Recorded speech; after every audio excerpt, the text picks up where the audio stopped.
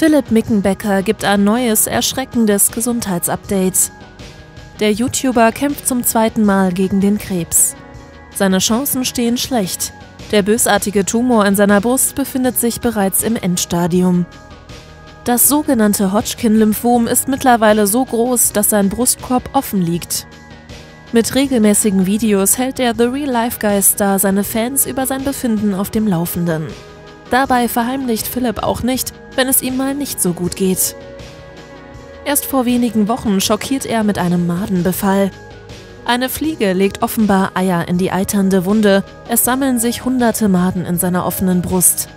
Die Parasiten sind wieder draußen, gut geht es Philipp aber nicht. Die starken Schmerzen, die er seit dem Madenbefall hat, sind immer noch da.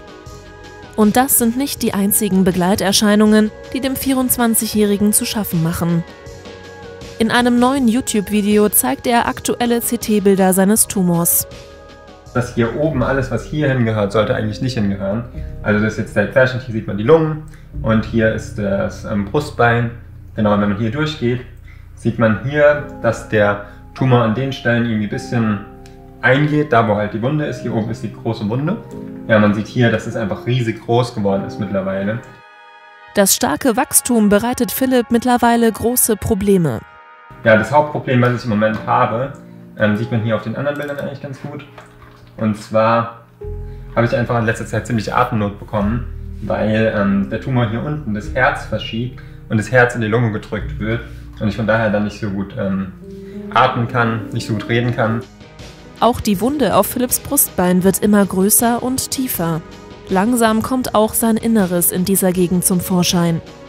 Man mittlerweile hat mir jetzt der Arzt gesagt, tatsächlich hier schon ähm, den Herzbeutel sehen kann durch die Wunde und auf der anderen Seite sogar schon das Lungengewebe sehen kann. Vor einigen Tagen wird dem Webvideoproduzenten auch noch einmal mitgeteilt, dass die Mediziner ihm nicht mehr helfen können.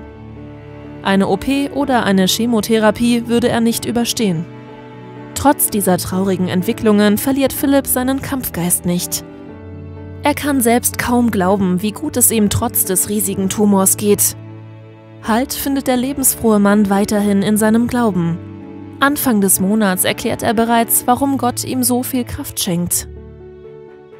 Vor allem habe ich halt die Hoffnung, und ich glaube, die gleiche Hoffnung hat Hiob auch gehabt, auf ein ewiges Leben nach dem Tod, dass es da einfach weitergeht. Und ich glaube, dass das halt, also, dass es mir auch so eine Entspanntheit irgendwie gibt, so egal, ob es hier auf der Erde weitergeht oder ob ähm, ja, ich früher bei Jesus bin, dass das ähm, Leben in jedem Fall lebenswert ist, solange ich noch hier bin.